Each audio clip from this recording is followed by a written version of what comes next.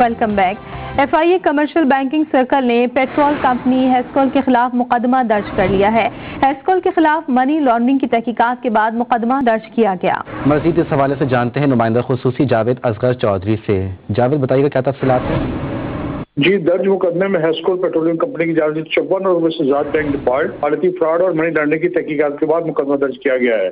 दस्तियाब शाहिद की रोशनी में दर्ज मुकदमे में नेशनल बैंक और हाईस्कूल के सबक और मौजूदा अफसरान समेत तीस मुलजमान नामजद है जबकि मुकदमे में नामजद हाईस्कूल के सबक एम डी मुमताज़ हसन को गिरफ़्तार किया गया। दीगर की मुलजमान नामजद है जबकि मुकदमे में नामजद हाईस्कूल के सबक एम डी मुमताज़ हसन को गिरफ़्तार किया गया। दीगर की गिरफ्तारी छापेमारी कार्रवाई जारी है।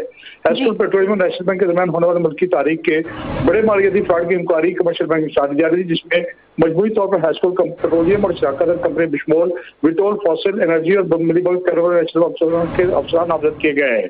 नामजद मुलजमान में खातून में नेशनल के दो सबक सदूर समेत हाजिर मौजूदा अफसरान शामिल है। हाईस्कूल पेट्रोलियम शराकत कंपनी के बोर्ड ऑफ़ डायरेक्टर शुभा फानाल दीगर वगैरह भी नामजद है। मुलजमान ने मिली बल्क के ज़रिए कौमी मालियाती इदारे से अरबों रुपए का कर्जा हासिल किया और कर्जी की रकम को मालियाती फ्रॉड के लिए मनी लॉन्ड्रिंग के लिए इस्तेमाल किया। फ्रॉड और मिल लॉन्ड्रिंग के सबूत शवाहद में हिस्कोल पेट्रोलियम कंपनी इसके अहदेदार bank account sale purchase stores के रिकॉर्ड भी शामिल है। मुलजमान को कमीशन और बैंक की मदद में से वसूल होने वाले लाखों डॉलर की ट्रांजेक्शन का रिकॉर्ड भी हासिल किया गया है।